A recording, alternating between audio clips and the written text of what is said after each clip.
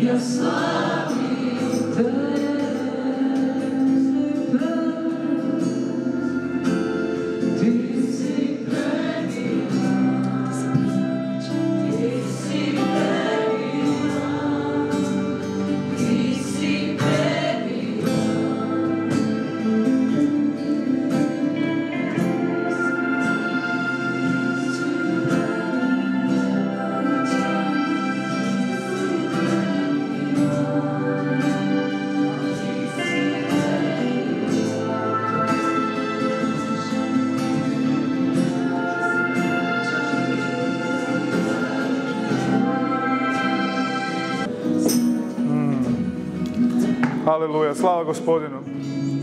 Slava ti gospodine na tvojoj prisutnosti, slava ti na tvojoj riječi. Hvala što nas povodiš u nebeske prostore i što spuštaš grad tvoj, Novi Jeruzalem koji mir donosi jer smo iznad onoga, onoga, ovoga svijeta, iznad svih okolnosti. Hvala ti što nam mir daješ, što nam daš, daješ silu i slavu. I hvala ti što, kao što si ti najvažniji, tako smo i svi mi tebi važni. I strašno mi je zvanjila jedna, jedna, jedna, jedna rečenica koju je apostol Pavo govorio. Kad je govorio, moj Bog će namiriti svaku tvoju potrebu. Haleluja. Vjerujem da je ovo riječ za danas. Haleluja. Slava gospodinu. Jučer smo molili pa su mi te neke slike dolazile i ono, osvojili smo neke nove teritorije u duhu, vjerujem i, i ovaj, onda treba i mir nakon toga doći da se gledamo stvari trezveno. Mislim, volimo mi gledati pijano isto ovaj. Više u stvari volimo ono. Lakše nam je to sve sagledavati, haleluja. Naravno, u duhu. ono. Možda neko ne zna, ono, pa da se ne sablazni, ono. Pozdrav svima, dobrodošli, lijepo vas je vidjeti. Stare, nove, ovaj, opa, ša- šaroliki smo danas. Danas ja vjerujem, ja sam dobio jednu riječ da danas govorim i ta riječ je, a, neće biti laka. Neće biti laka. Danas nećemo onako biti u wellnessu, milosti, ljubavi i svega, ali vjerujem da je ovo prava riječ. I vjerujem da je, da je ako ti pogotovo želiš služiti, a mi smo svi nekako i pozvani da služimo, a pogotovo ako imaš pozive i pogotovo ako stvari radiš, ja vjerujem da je ovo danas jedna ključna stvar za tebe. Da se usadi u tvoje srce, u tvoj život. Danas je tema integritet. I ja želim to proći na jedan određeni način, da jednostavno da, da, da, da, dođe, da dođe do tvoga srca. I da se neke stvari stvarno urežu u, u naše živote, jer ove stvari su se meni urezile. Jednom kad sam bio, neke, neke stvari, kad sam bio kod Rajkarda Bonka u školi, ovaj, neke stvari su se upečatile u moje srce i nikad ih nisam izbacio van. I uvijek naglašavam ih, i uvijek ih ponavljam, i uvijek ih govorim neke, i ovaj, pogotovo ljudima i mladima, i ljudima koji služe, i mladim ljudima koji žele služiti. Ja vjerujem da ovo, neke od ovih stvari danas trebaju se urezati u tvoje srce. Haleluja.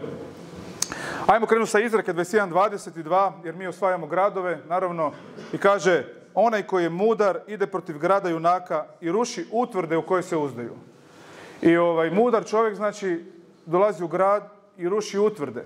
I mi smo, nekad kad smo startali i na drugim mjestima i kad smo bili u Poriću, onda su dolazili ljudi kod nas koji su, većina ljudi odlazila kod nekoliko tih nekih vračarica koje su ono, čitale, gatale, šta ja znam šta. I sve su te žene imale neke svoje problematike, svi su vjerovali da je to normalno, onda ti rušiš jednu određenu utvrdu. I postepeno je to se počela informacija širiti okolo, te stvari su splašnjavale i na kraju je i ta osoba također došla do nas i ona je shvatila djelomično, neki dio je otpustila, ovaj, ali slava gospodinu, znači rušimo utvrde u koje se lju- ljudi uzdaju. I često nekad, nažalost, i kršćanima dolaze neke utvrde. I onda je dobro da mi ovaj, to malo sagledamo danas na jedan određen način. Kaže Jakovljeva 3.15, ljudska mudrost je zemaljska, senzualna, demonska, puna sebičnosti, zavisti, svadljivosti, nereda, svako zlo djeluje u njoj. I kaže, s druge strane, Božja mudrost je milosna, pravična, pokorna, puna dobrih plodova i milosrđa, bez pristranosti i bez licemjerstva. Gospodin nas sve gleda na isti način. On nema razlike među nama. Neki ljudi koje ti možda ne biš propustio, ovaj, će završiti u raju. Ono. Oni koji se tebi možda baš i ne sviđaju, ti, da im ti sudiš, možda ne bi završili, a gospodin gleda na jedan drugačiji način. On nema, nema pristranosti između, između tebe, mene i drugih. Znači kaže da to nije mudrost koja je od ozgo silazi, nego zemaljska, naravna, kaže, zloduška, demonska. Znači, sebičnosti i sve te neke stvari koje tu nabraja su stvari, su stvari zemaljske stvari. A, a, a milost od ozgo je, kaže, čista, pravična, pokorna, puna milosrđa i dobrih dijela. Kaže, plod se pak pravednosti u miru sije onima koji tvore mir. Ljudska mudrost je protiv Božje mudrosti. Ona je potpuno suprotna. Ona se bazira na osjećajima. Joj, danas me Bog me ne voli. Danas me Bog ne voli. Joj, da me Bog voli, ovo bi mi već bilo razriješeno. Ma to, to, to, to, ne vrijedi, to nije tako, znaš. I sigurno bi se neke stvari već promijenile, sigurno ne bi bilo ovoga na svijetu, sigurno ovo ili ono, kako se mi osjećamo taj dan. Ali istina, ili kakav je Bog, je neovisno o tvom razmišljanju. Neovisna je o tvom razmišljanju. Jer, ako, jer demonska strategija je da se ti fokusiraš na tvoje razmišljanje, a ne ono što Bog stvarno jest. Ili ono što je istina iz riječi. Jer naša, naši osjećaj, naša osjetila nas vode na okolnosti i zanemarujemo onu, onu mudrost s neba koja nam izmakne u tim nekim situacijama. Haleluja. Mi moramo znati ko je Bog i ko on stvarno jest. I Bog će ti dati duha mudrosti i otkrivenja da ti razotkrije sebe, da ti razotkrije svrhu tvog života i da ti razotkrije kako hodati u svim potrebnim stvarima i okolnostima. Jer ono što ti svijet nudi ne može ti dati, samo od Boga možeš primiti. Znači dobit ćeš spoznaju, jer kaže ko povjeruje u njega da ne propadne, nego će imati život vječni, ne jednom kada umremo, nego sada tu taj život vječni dolazi u tebe. I taj život ima silu, ima svjetlost mudrosti Božje i on sada djeluje u tvom životu. To je vječni život koji dolazi. Oni koji povjeruju do, do primit će vječni život. Imaju vječni život, kaže. Imaju vječni život, a ne će imati. Haleluja. To se događa kad mi dođemo u susret sa Ocem, kad dođemo u susret sa Bogom, a ne u trenutku kada mi umremo. Nego već sada, već sada je dan, ili odnosno ovaj, trenutak spasenja. Haleluja. I mi kad dođemo, kad se novorodimo, kad dođemo u odnos sa gospodinom, onda mi učimo o miru, učimo o ljubavi, učimo o raznim stvarima, učimo o pravednosti, o milosti, naklonosti, ali mi dozvoljavamo da okolnosti govore iznad onoga što je on napravio.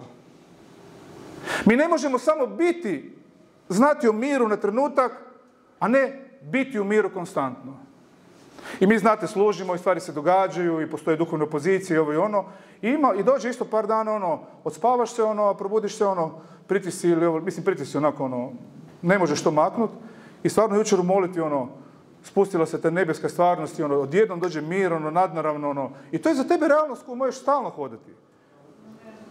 Jer je on nadvladao svijet. Okolnosti, ono što slušaš, ako slušaš neke određene stvari koje ti donose nemir, odmakni. Odmakni. Nauči se kako, ovaj, kako sa time hodati. Mi ne smijemo dozvoljavati okolnostima da utječu na naš život. Jer Isus nije platio cijenu samo da ti ideš u raj, nego da nas oslobodi baš tu i sada. I on nije platio djelomičnu cijenu. Da si ti polu spašen, da si ti polu opravdan ili nešto slično. Slobodan si od grijeha njegovom žrtvom. Slobodan si od grijeha. Nisi više rob grijehu. Nego govorili smo zadnji puta, robuješ pravednosti. Da li možeš razumjeti što to znači? Zaključan u njegovoj ljubavi, robuješ pravednosti. Pravednost Božja je došla u tebe. U tebe. Božja priroda te kvalificirala njegovim dijelom, a ne tvojim. Govorimo stalno oko toga. Znači, mi smo slobodni od grijeha, od tračanja, od žaljenja, od, od kritiziranja, od negativnosti, od mržnje, od svega. Takve stvari se ne bi trebale među nama uopće spominjati uopće spominjati. Bog nas je proglasio svetima. Milost nas je po vjeri spasila i mi sad imamo mir sa Bogom. Mir sa Bogom. Ali mi, taj mir mora postati realnost našeg života. Treba postati realnost našeg tog života. To nije samo trenutni mir, rekli smo. To treba biti konstantni mir. I Isus je rekao da učimo od njega. Da je njegovo breme lako. To breme njegove ljubavi koje trebamo nositi. Koje je jedina, jedino breme koje mi trebamo imati. Jedino breme koje mi trebamo imati. Mi boravimo, da mi boravimo u ljubavi umjesto da ju tražimo. Ne da konstantno tražimo neku potvrdu, neku prihvaćenost, nešto, nego da, da boravimo u tome. Da u tom miru boravimo. Haleluja. To se zove obnova uma. Nama je oprošteno po jednoj jedinoj mogućoj činjenici. Jednoj jedinoj. A to je Kristova krv. Po kojoj smo dobili pravednost. I o tome smo govorili i govorimo konstantno. Jer stari savez, ne stari zavjet, moramo razumjeti razliku. Stari sa, savez, Mojsev savez je imao 10 zapovjedi i 613 pravila. I ako pogriješiš jednu, pogriješio si sve. Ne možeš zaraditi pravednost svojim dijelima. Zato je Bog mi milostiv i znao je da ti ne možeš i On je za tebe to napravio. I to je poklon koji ti trebaš samo primiti. I kad ga primiš, rekli smo, onda hodaš u tim realnostima. Grijeh ne treba vladati tobom, nego hodaš u tim realnostima. Haleluja. Jer mi zna, Bog je znao da mi to ne možemo učiniti. I postoje utvrde u našem životu, u našoj duši, koje nisu još poravnate sa Božjim stvarima i taj dio naše duše je u ratu s Bogom. I te utvrde kad se sruše, ti ćeš imati mir. Te utvrde kad se sruše, ti ćeš imati dimenzije kraljevstva koje su manifestirane u tebi. Mir, radost i ostalo što kraljevstvo vodi. Aleluja. Jer kad se to sruši, ti imaš odmor svoje duše. Po krvi koja nikad ne koagulira. Ta krv vječno viče bolje od krvi Abelove. Ona je prolivena tu na ovoj zemlji, kakva god da ona oblika je, ona je prolivena tu i usadila se u tu zemlju. Natopila, tu još stoji. I još je na, na, na, na tronu nebeskom izlivena. Haleluja. Te utvrde koje nas koče su pretežito utvrde samo pravednosti. Gdje mi mislimo da nešto možemo postići našim radom. Haleluja.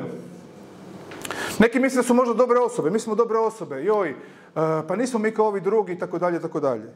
Ali mi znamo da to nije tako. Problem je u tome što je Isus platio cijenu za sve. Za svaki grijeh i za svaku stvar. I milost je učiteljica, kaže riječ, a ja bi rekao milost je učitelj. Jer milost je također i osoba. Haleluja. Ako uspješ vidjeti realnosti ko si ti kao sin i kćerka, tada na tvom čelu, na, na, na, ovom hramu, na ovom hotelu će pisati zauzeto za sve te stvari koje smo prije nabrali. Laž neće imati mjesta u tebi. U tvojim mislima, u tvojim emocijama, u tvojom tijelu. Zauzeto ovaj hram, ne, ne, ne pristupa laž u ovaj hram. Ne dopuštam da laž ulazi u ovaj hram. Mi smo grad na gori, mi trebamo svijetliti svijetu. Ti trebaš svijetliti svijetu, kaže, ne gradu, svijetu, kaže gospodin. Svijetu, ne tvom kvartu, tvojoj kući, gradu, svijetu. Haleluja. Proširi svoje srce, kao što apostol Pavo kaže. Proširi da vidiš tu ekstenziju. Da se svaka utvrda pukne, da mir počne se manifestirati u tom životu. Ne mir koji imaš kad popušiš joint, nego mir od prisutnosti Božje koje je izvan razuma. Izvan razuma. Haleluja. To znači da svako mjesto koje nije dotaklo još obnovilo tvoj um, postoji utvrda. I nije važno ako si ti možda 30 godina u crkvi, 15 godina u crkvi, 5 godina ili 15 dana, ako ta stvar nije pogodila tvoj um, još uvijek postoji neka utvrda. Kad te to pogodi, onda je sloboda dođe. A do tada je tvoj tjelesni um u ratu s Bogom, u nekom području. U nekom području. Haleluja. Znači mi moramo danas znati da mi imamo i oružje moćno, imamo i mač riječi koji razdvaja duh i dušu. Mi jasno i precizno znamo, ali nekad se neke stvari uvuku ne samo u svijet, jer to je normalno da se svijet uvuku, nego se uvuku među kršćane. Aleluja. Isus je platio cijenu ne samo da slušamo propovjedi, nego da postanemo propovjed. Jer kaže, žive poslanice da budemo. Žive poslanice. Neko neće nikad pročitati Bibliju, jedina Biblija će biti ti koji dođeš pred njega ili pred nju i koja svjedočiš ili govoriš nešto iz riječi. I ne moraš čak ni citirati Marko to, to i to, Ivan to, to i to, nego govoriš iz Božih izvora. Govoriš ono što već imaš u sebi. Haleluja. Huh.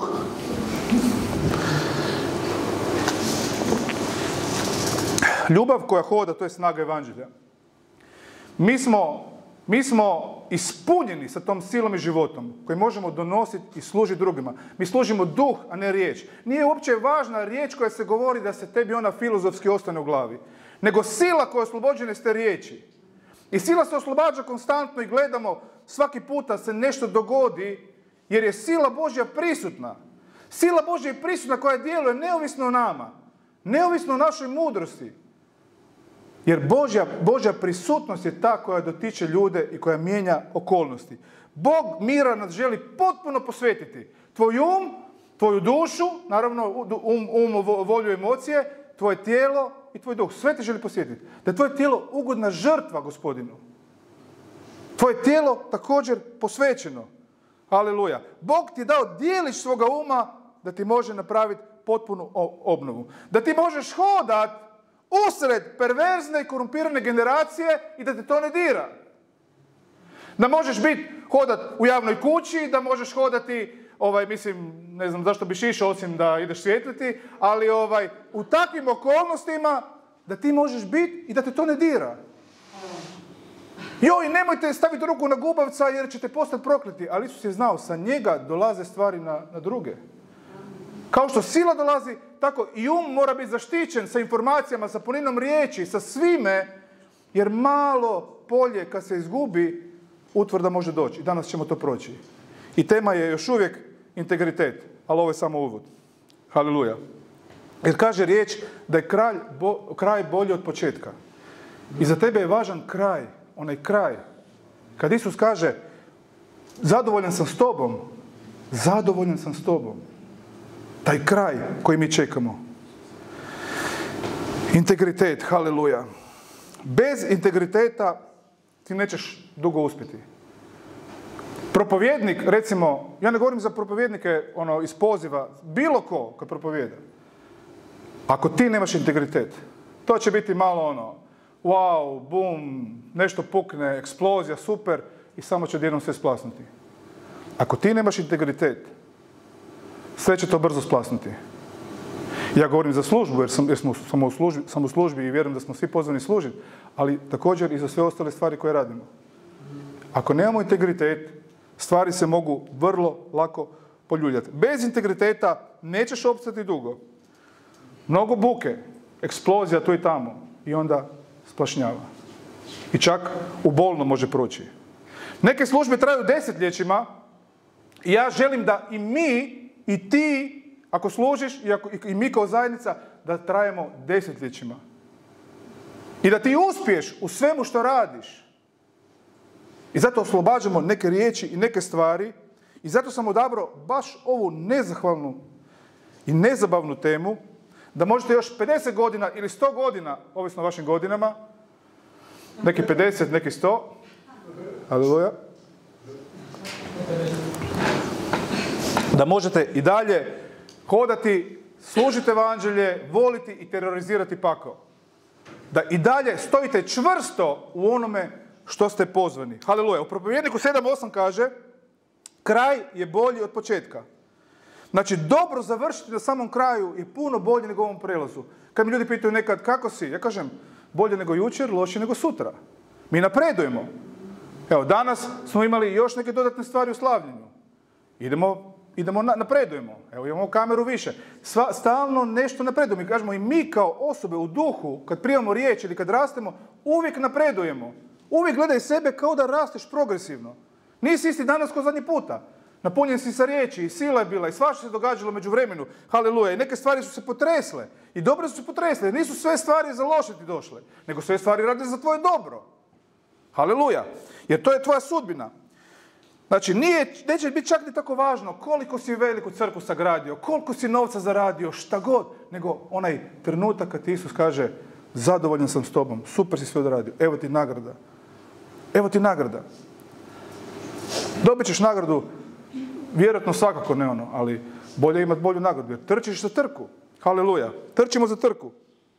Koristit ću jednu priču kao ilustraciju da bi vam dočarao integritet. I to je u 2 Samuelova 23. Ona govori o moćnim ratnicima, specijalnim postrojbama Izraela. David ima moćne ljude, znamo o njima ljude, govorili smo više puta, u bankrotu su bili u spilji, skrivali su se od kralja Izraela, kralj ih je htio ubiti u bankrotu, kaže 400 ljudi u potpunom bankrotu. I kaže, od tih ljudi su nastali Davidovi moćni ljudi. Nisu oni nastali kasnije, nego tada u problemu. Oni su skupa s njime u povjerenju izrasli i osvojili kraljevstvo. I ajmo vidi kako su ti Davidovi moćni ljudi bilo. To je bilo stvarno nevjerovatno. Ono. Kaže da su neki vlas mačem presjekli vlas kose i to ljevom rukom na pola. Ono, kakva preciznost je to bila. Bili su vrlo sposobni, ne? Onda Biblija opisuje neke detalje i možemo vidjeti da ono, za neke od njih je i Rambo izgledao kao djevojčica. Ajmo vidjeti druga Samuelova 23, e, osmi stih. Kaže, ovo su imena junaka što ih je imao David. Jošeb Bašebet Takmonac, poglavar nad zapovjednicima. Taj se još zvao Adino Ezrijac, jer je u jedan put pobio 800 ljudi. Mi bi sad rekli šta je to 800 ljudi, ali tada nije bilo mitraljeza, nije bilo bombi, nije bilo ničega. On sam je pobio 800 ljudi. Kaže onda u 18. stihu, a Abišaj, Jobov brat, sin Ceruin, on biješe poglavar nad drugom trojicom i podiže on koplje svoje na 300 i pobih. Sa kopljem. 300 ljudi. Nije sad lijepo u današnjem vremenu to, ali naravno to su bili moćni ljudi, tada Davidovi, tada je bilo drugačije vrijeme, ono kraljevstvo se osvajalo na taj način.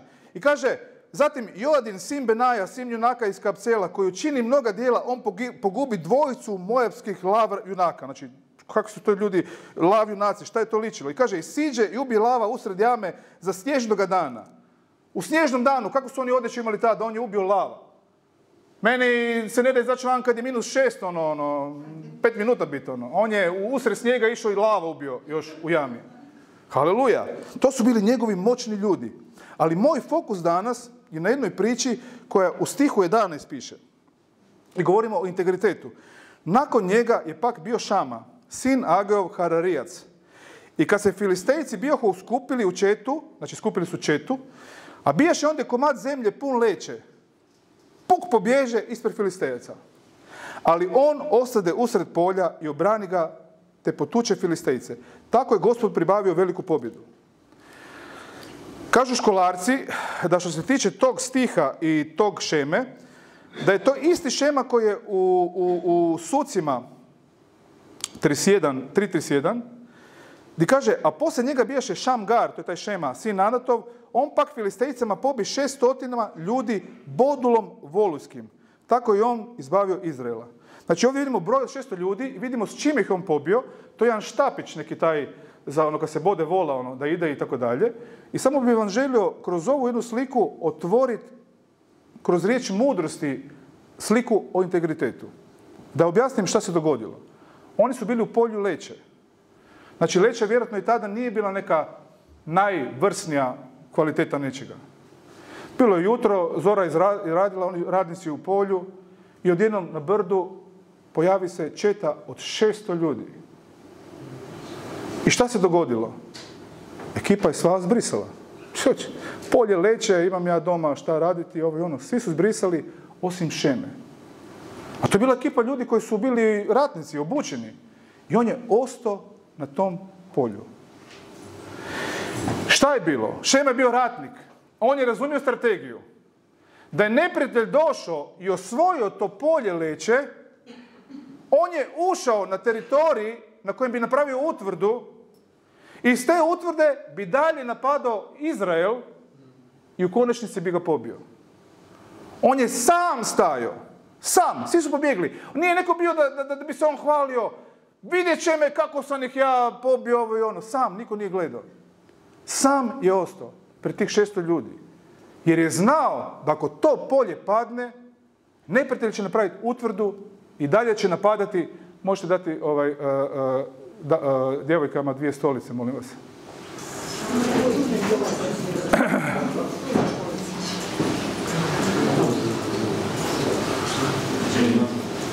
Morat ćemo objaviti da ljudi počnu sami nositi stolice sa sobom. ovaj. Evo imate. Haleluja. Pozdrav. Da. Znači, on je zadržao to polje da neprijatelj ne bi dalje probio. I sebe je postavio u to da bi izbavio Izrael. I kaže riječ da je on tih 600 ljudi pobio. Tih 600 ljudi je on pobio. Haleluja. Đavo zna di će doći osvojiti tvoje polje leće. On neće doći tamo gdje si ti jak. Doći će tamo gdje si ti slab. Jer će doći i tamo će napraviti utvrdu i s te utvrde će dalje napadati dok te ne uništi. Haleluja. Ali mi znamo također strategiju. I mi znamo kako se sa nekim stvarima odnositi. Mene ne briga ako su čitave horde pakla protiv tebe. Ti možeš to razriješiti. Jer integritet znači obračunati se sa svakim od tih stvari. Odnosno, obraćati pažnju na male stvari. I danas ćemo proći o integritetu nekoliko stvari. Obraćati pažnju na male stvari. Vidiš, za ove zem- zemljoradnike to je bilo irelevantno. Za njih to nije ništa značilo. Za njih to nije ništa značilo. Ali za Šemu je to bilo vrlo važno. Vrlo važno. Jer pao bi Izrael da on nije sačuvao tu zemljicu. Haleluja. Svi su mislili da je to obična zemlja, ali Šem je bio ratnik. On je razumio strategiju. Razumio je ratnu taktiku i znao je da filistejci nisu odabrali to polje slučajno. Znao je da neće biti bitke ubrzo jer bi Izrael bio iznutra izudaran. Haleluja. On je odlučio ni metra dati neprijatelju. Niti metra dati neprijatelju. I to je, i to je riječ mudrosti preko, preko koje ja želim kroz ovu sliku tebi dočarati integritet. I zato vam kažem, braćo i sestre, ako odlučite živjeti u, u autoritetu, vi ćete morati donijeti odluku. Morat ćete donijeti odluku. Nekad ljudi misle, joj, pa Bog treba sve napraviti. Pa naravno da Bog milost je učiteljica, ono- odnosno učitelj. Haleluja. Ali za neke stvari mi trebamo donijeti odluke. I reći, tu, reći ću još nešto što možda nije sad ovaj, e, popularno, jer mi, znamo, znate svi, volimo govoriti o milosti i o ljubavi i tako dalje, tako dalje. Ali još uvijek postoji grijeh, još uvijek postoji kompromis i još uvijek postoji svetost. A Bog nas poziva na svetost. I Bog nas poziva da ne dajemo ni mi metra zemlje. Haleluja. Jer još uvijek te stvari postoje. Haleluja. Ljudi uvijek postavljaju pitanja šta smijem raditi, šta ne smijem raditi, e, do, do, koje, do koje granice mogu doći da ne padnem, da se ne uništim, da se nešto ne dogodi. I to su vjerojatno dosta kriva pitanja. Jer vidiš šta apostol Pavlo kaže. On kaže, izbjegavaj svaki oblik zla. Prvo Solunjanima 5.22. Kaže u Judinoj 1.23 da mrzite i haljinu od tijela okaljanu. Mi trebamo razviti u našim srcima svetu mržnju za ono što Bog ne voli, jer mi ne možemo raditi ono što Bog voli ako ne mrzimo ono što Bog ne voli. Mi moramo razviti to u sebi. Jer super je, volimo i mi, mi stalno pričamo o Božoj ljubavi, Božoj milosti, o svemu, ali mi moramo znati kako biti strategi i, i, i, i djelovati strateški u Božjem kraljevstvu. Mi moramo znati kako funkcionirati. Jer Bog je također i ljubomoran za nas.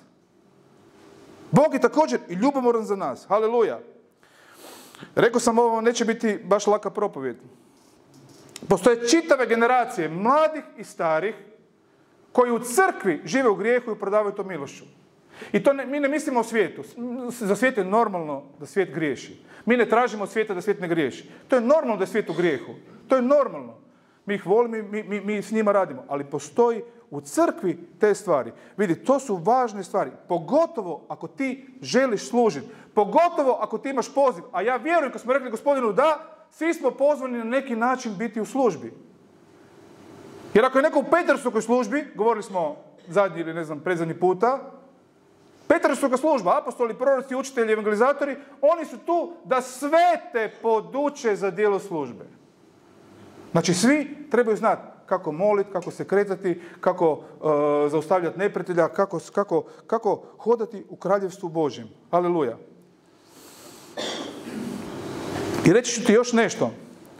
Ako, ako govoriš okolo, možda si dio ove zajednice, bilo bi dobro da se držiš i te reputacije.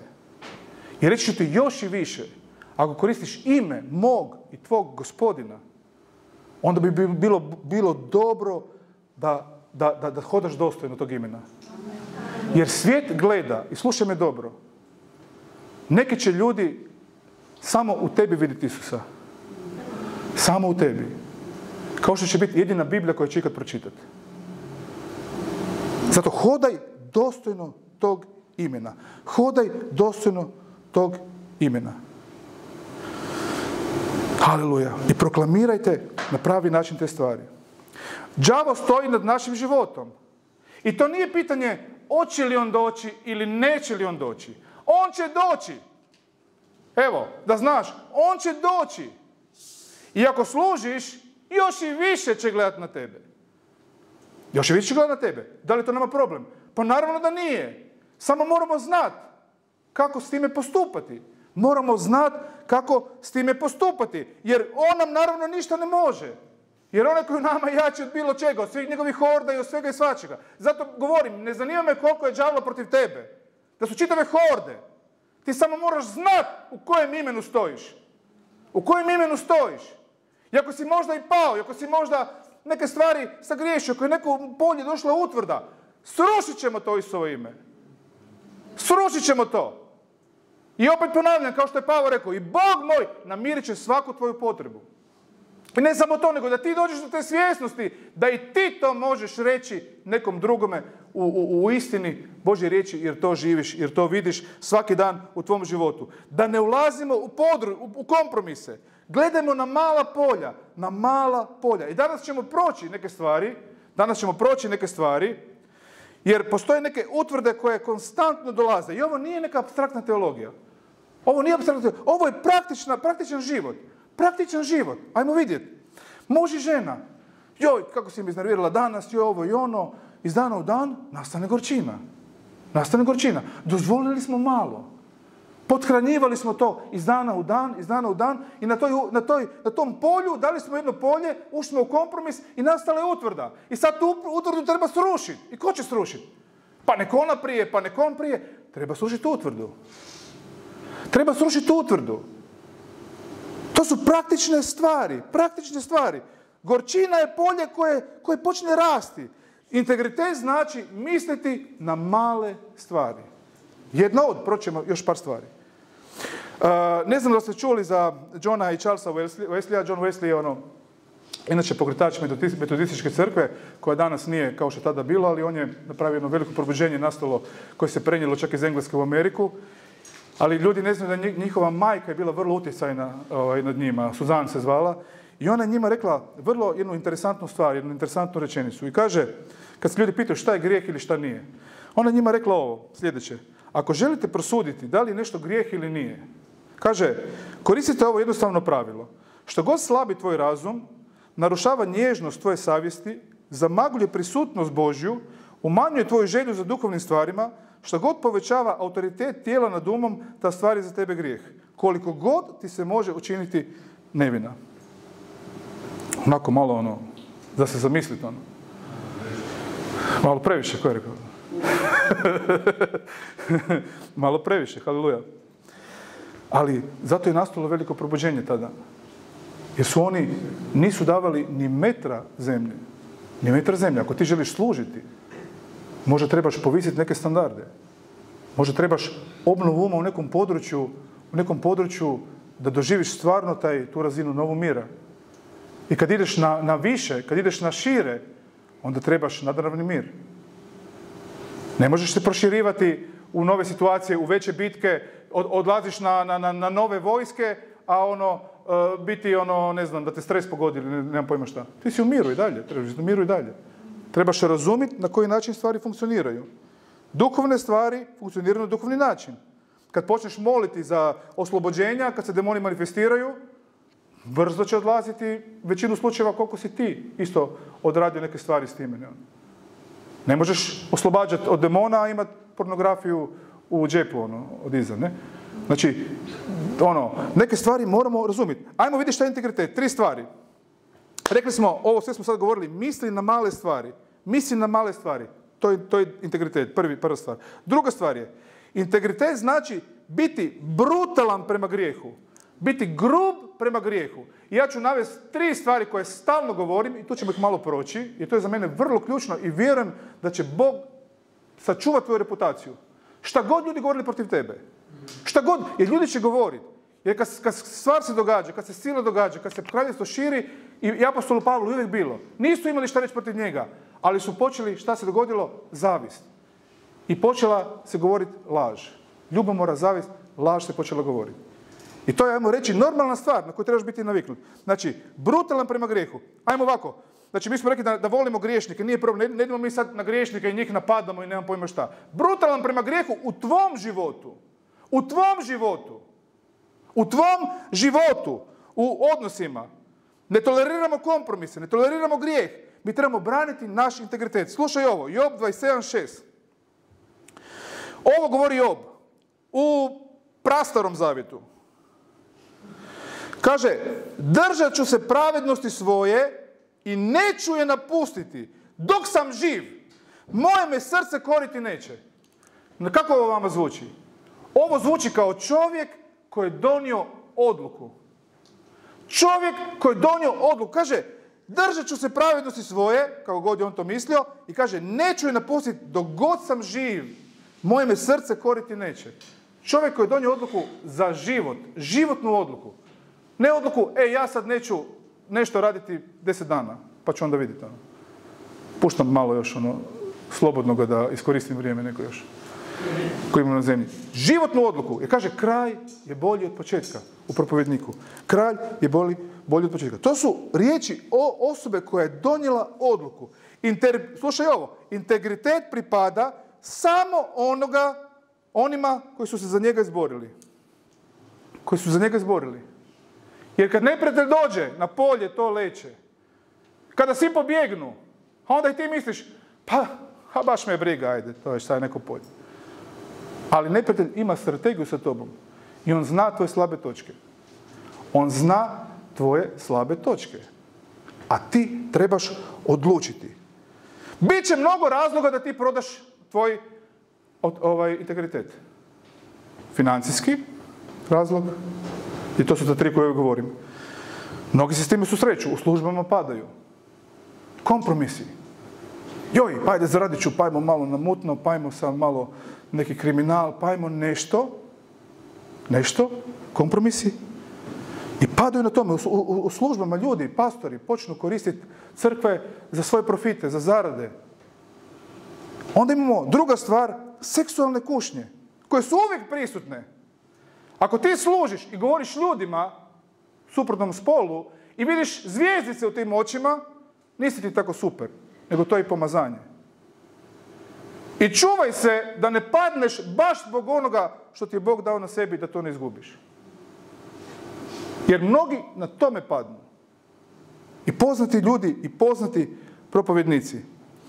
Jedan je propovjednik pao u tome u Americi, bila to ogromna, velika crkva, mislim oko 20.000 ljudi imala. I čovjek je jedan dan na vijestima je završio, pastor je spao s prostitutkom. I ovaj, bilo to jedna od najvećih crkava tada u Americi, ne? I došao je na službu, svi su to čuli, svi su to znali. To nije ko možda kod nas, kod nas bi to bilo ono, možda i fora ljudima, ja ne znam, ono, stvarno više šta bi razmišljao, možda bi bio i frajer, ono, ne? Ali tamo je to bilo ono, ono, crkva je ono, porušila se i on je došao taj dan tamo plakao i svi su plakali, naravno, svima je bilo žao, ono, i njemu je bilo žao, naravno. I kaže, jako mi je žao, žao mi je radi greške, radi izdaje, radi boli, žao mi je radi užasnog primjera koji sam vama dao, imam se prožimajući, izjedajuću tugu na mom srcu radi bolu, boli koji ste vi i ja i moje obitelji iskusili. Tako mi je žao radi ovih okolnosti koje su prouzročile toliko srama i neugodnosti svima vama. Pred 20.000 ljudi priča, na televiziji je bilo. Kaže, kaže, i išao je naprijed i naprijed i plako izgubio je službu, izgubio je e, obitelj, život, sve. Kako se to moglo desiti? Ja ću ti reći, nije se on probudio jedan dan i odlučiš kod prostitutke. Prvo je počeo gledati. Prvo je na malo polje udarilo. Ne bit, nevažno polje njemu možda. Onda je počeo maštati i zamišljati. Onda je počeo zamišljati. I onda je đavo posložio situaciju. Govorio sam vam koliko puta ljudi pomazani koji imaju službe velike proroci, gdje im je baš đavo postavio neke slične kušnje kad su trebali preći vel. I, I prošli su ih, neki su ih prošli, mnogi su pali. Pa su godine, neće Bog uzeti poziv ili dar, nije Bog ko ljudi. Ali reputacija kad se izgubi, koja se teško stječe, onda to bude potpuno drugačije. Onda stalno bude ta neka mrlja koja stoji. Stalno bude ta neka mrlja, nije to onda tako tečno i tako, i tako glatko. Toliko pomazan, toliko educiran, toliko korišten od gospodina. Malo po malo. Polje, utvrda. I to ne mora značiti da je u službi. To može značiti da je u, normalnom životu. U normalnom životu, u tvojim odnosima, u tvojim situacijama. Malo po malo, polje po polje. Izađe, izraste stablo grijeha, nastane utvrda i onda teško se s time nositi. Treća stvar, rekli smo još, treća stvar. Prva smo rekli da, treća stvar, u brutalnosti prema grijehu. Treća stvar je ponos. Ponos. Neprijatelj ti stalno želi pokazati da si veći nego što jesi. Neovisno koliko si ti velik u nekim ljudskim pogledima. Neovisno. Možeš imati 10 milijardi, možeš biti najpoznatiji nogometaš, možeš biti voditelj na televiziji, neovisno. Možeš biti najbolji propovjednik. Ne, ne, znači, mi moramo znati. Ušuti neprijatelju, to je Božja milost. Ako si ti, u, u, u, u, u- naravno, u, duhu novorođen. Božja milost, moramo paziti na ponos. Moramo paziti. I hvalimo se sa onim što je, što je Bog u nas stavio. Hvalimo se sa milošću Božjom, kaže Pavo. Ne? Ali moramo paziti da se s time poravnimo svaki puta, jer brzo se to zanese, brzo se to dogodi. Ja kad sam počeo uh, moliti za ljude, bilo to ne znam, predosta ono, baš smo, baš je krenula služba oslobođenja, ja na koga god bi stavio ruke, ljudi bi se manifestirali. Ono, bili bi vriskanja, ovaj, ne znam, govora u raznim nekim čudnovatim jezicima koji nisu ovi Božji i tako dalje, i tako dalje. Meni je došao ponos. Ali došao mi je ponos na način da sam ja bio svjestan ponosa, a nisam znao kako ga skinu sa sebe. Nisam ga mogao skinuti sa sebe. I bio sam u Njemačkoj i bio sam tamo, bio Todd White i baš sam s njime razgovarao, ono, sam rekao, pa kako ono, da, da ovaj, skinem taj ponos sa sebe, ono, ono, kako, kako ti to? Kaže, pa nije uopće stvar ponosa, nego rekao, "Šta, Sad si ti pametan, ono, šta to znači? Ono? On kaže, pa budi ponizan i zahvalan gospodinu za šta te, za šta te koristi. Haleluja, od meni se odjednom skinuo taj pritisak. Nekad vam treba samo otkrivenje da čujete i koje, i koje vas oslobodi. Samo riječ. Mi znamo, recimo, kad služimo i proročkim stvarima i ne znam čemu, toliko, toliko se stvari zakompliciraju, ali ti, ne, ti trebaš samo otkrivenje, koji ti odlazi po duhu, mudrosti otkrivenja. I nekad kroz druge ljude, kroz službenike druge, da jednostavno znaš kako u trenutku djelovati. Te tri stvari, rekli smo, novac, seksualnost i ovaj ponos. Ponos. Haleluja. Ja sam super dobar. Ono. Šuti đavle, to je samo Božja milost. Znači, rekli smo, prva stvar je pazi na male stvari, govorimo o integritetu, pa, pazi na male stvari, budi brutalan prema grijehu, brutalan prema grijehu i treća stvar je, pazi sad ovo, integritet znači činiti pravu stvar i kada nitko ne gleda. Svi su otišli, Izraelci su otišli. Šema je sam ostao na tom polju. Ko si ti kada niko ne gleda? Ko si ti kada stojiš sam u svojoj kući pred ogledalom? Možda možemo mi, sebe prezentirati u najboljem svjetlu kad smo ovdje vani. Možemo na Facebooku imati najfantastičniju priču. Ali ko si ti kada nitko ne gleda? Jer možemo mi zavarati ljude. Ali Bog stalno vidi. Bog stalno vidi. I mi nismo ovdje da nikoga okrivimo i nikoga optužimo i na nikoga ne stavimo teret, nego smo ovdje da srušimo te utvrde od neprijatelja i da neprijatelj ode i sa tog polja odleće i šta god je zauzeo u tvom životu. Šta god je zauzeo u tvom životu. Jer ti trebaš biti slobodan, gdje je Duh Sveti je sloboda. Ti trebaš tu razinu mira da možeš koračati naprijed. Neovisno što radiš. Da li se baviš u kreativnostima, u poslovanjima, u službi, u čemu god. Da ti si slobodan i dalje, da ništa ne, vlada s tobom. Haleluja. Šema je stajao sam, nitko nije gledao. Nitko ne bi vidio njegovu, njegovu bitku, kako se on borio, kako se on, kako se on ponašao. I postoje mnoge borbe u našim srcima. Ja ću ti reći, u ovom području postoje borbe u tvom srcu. U mom srcu, koje nikad niko možda neće znati. Neće biti zapisane, neće biti zapostane, ali to su neke bitke u našim životima koje u stvari imaju tu najveću vrijednost. Za nas, te bitke koje smo izborili u tim nekim određenim situacijama, to su osobne borbe u našim srcima. Haleluja. Možda nikad niko neće znati za te borbe, ali ti se izbori za njih svejedno. Jer budi osoba od integriteta. Taj integritet je karakter. Karakter Duha Svetoga, ako je još ono što je poželjno, o, tome govorimo. Karakter Boži u tebi. To je najveća investicija u, život koji možeš imati. Nekad Bog radi možda neku stvar pet godina u tebi da bi onda bio spreman za nešto više što ima. Da te ne bi uništilo nešto. Nekad neke stvari te mogu uništiti. A kad si ti osoba od integriteta, pa te nema ti kraja, ti možeš dostići nezamislivo. Možeš dostići nezamislivo. Haleluja. Ovo je moral priče.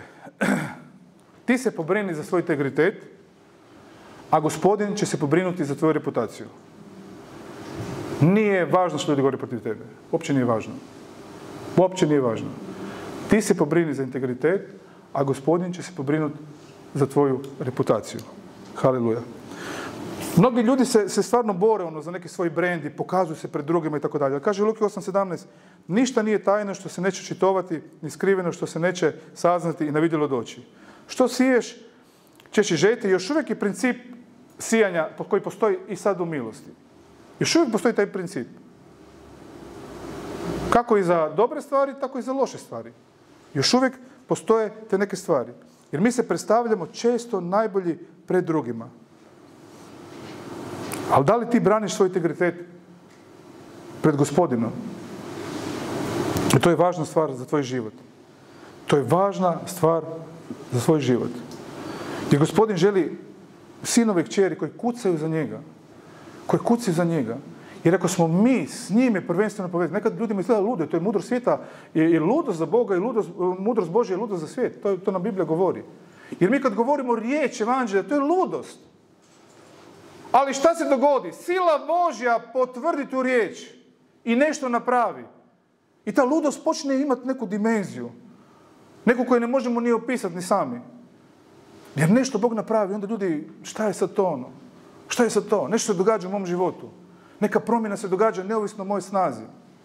Neovisno o mojoj pameti. Jer sila Božja, kad se ti poravnaš sa, sa njegovim planom, sila Božja djeluje u tom životu. Sila Božja djeluje u tom. Poravnava putove, brde i doline. Stvari se događaju. Haleluja. Jer tvoj život i ovako onako ti više ne pripada. Jer ja vjerujem, a vjerujem i da mnogi još isto vjeruju, da gospodin nešto priprema iz ovaj grad, iz ovu regiju.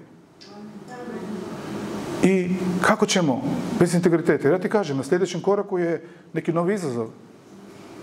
Neke stvari moramo sad učvrstiti, sad osnažiti.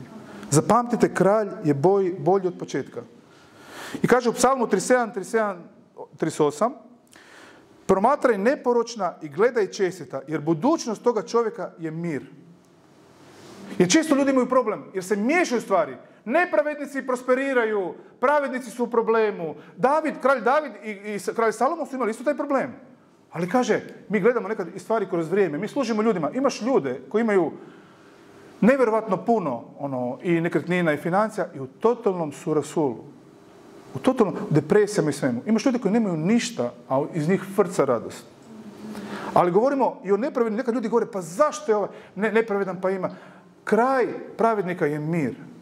I kralj David ima taj problem. i zapitivo se. Ali kaže, tog čovjeka budućnost je mir.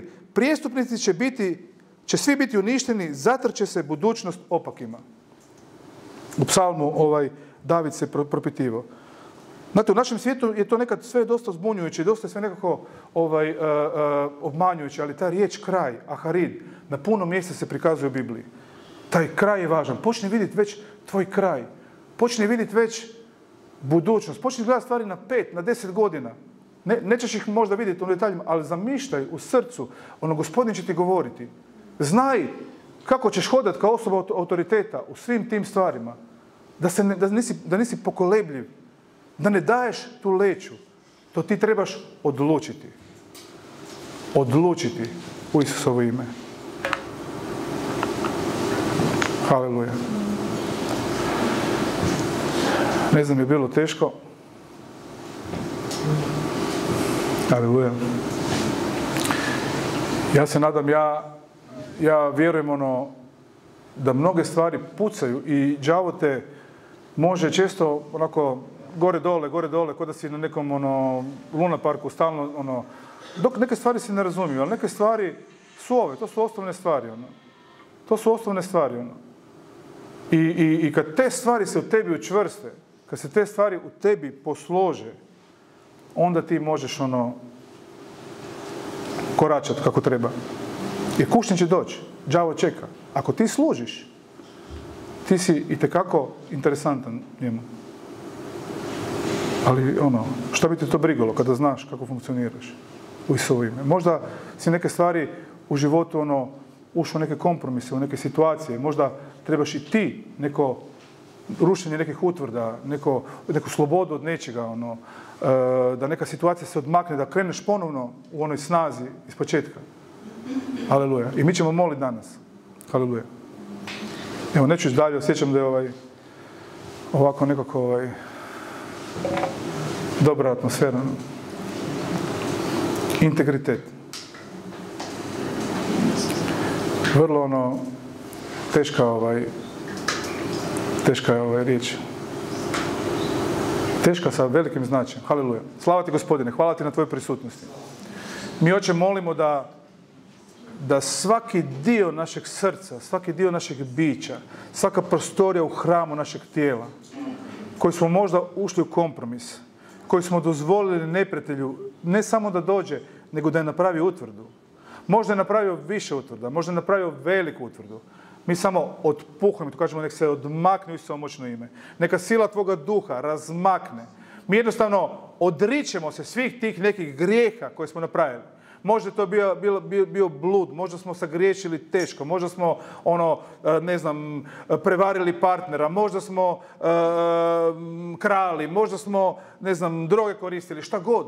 Mi kažemo, odmaknite od nas, gospodine. Mi dolazimo pred tebe na tvoj tron i tražimo tvoju, tvoje milosrđe, tražimo tvoj oprost, neka, neka se odmakne svaka misao neprijatelja, sve ono što nas kori, sve ono što nas, što nas proganja, sve ono što nas okrivljuje. Mi kažemo, nek se to makne u svoje moćno ime. Hvala ti što si vjerni, što si milostivi, što skidaš sa nas svaku krivnju, svaku težinu. Tvoja krv, tvoja krv je i se prolila da bi svaki grijeh naš makla. I nema, ne može nas đavo ništa maltretirati. I nismo, ne robujemo grijehu, mi se odričemo svega toga u isto moćno ime. Mi želimo potpuni teritorij, potpuni teritorij za tebe. I hvala ti oče što tvoje kraljevstvo sada se oslobađa nas u, u svakome proširuje, gospodine, da mir nadnaravni dođe, da zahvati svako srce, svako srce, svaku misao tvoju, svaku emociju tvoju, nek se težina makne, svaka težina iz tvog života u Isusovo moćno ime. Da, ti imaš ponovnu priliku, da ti imaš potpunu svježinu u Isusu Kristu. Gospodin je milostiv za tebe. Gospodin kaže, e, primi riječ oproštenja, primi učinju svojom, riječ lambano, kaže, odmah primi, ne daj đavlu da te više maltretira, ne daj da te više vara. Uzmi svoje oproštenje jer ono je već prije više godina plaćena cijena za to krvlju svetom, jedinom svetom krvlju koja je ikad postojala. Sveta krv bez mane, jedini koji te ima pravo osuditi, te ne osuđuje nego te oslobađa u isto moćno ime i daje ti duha njegovog da kroz tebe se, se pro, prospe po, po drugim ljudima po ovom svijetu. Huše keraba sokaramasen. Slava ti oče što oslobađaš, što tvoja sila je moćna i snažna. Nema te sile koja stoji protiv tebe. Ja kažem da polje svako je oslobođeno, svaka utvrda je srušena u Isovo moćno ime. U tvojim mislima, u emocijama, u tvom tijelu, u tvojoj volji, u tvojim odlukama. U tvo... Nema težine na tebi, nema straha, nema... nek se svaki strah makne u Isovo moćno ime. Neka se svaka ljutnja, mržnja, mi sve ti predamo gospodine. Sve ti predamo gospodine. Ne želimo ništa što nije od tebe. Ne želimo ništa od neprijatelja. Svaki kompromis u koji smo ušli, odričemo se. Primamo tvoju, tvoju, tvoju razvodnicu i to pismo pokazujemo tebi, đavle. Vidi, imamo razvodnicu gospodina. Njegova krv stoji između nas i bilo kojeg grijeha. Njegova krv stoji između mene i bilo kojeg grijeha. Između tebe i bilo kojeg grijeha.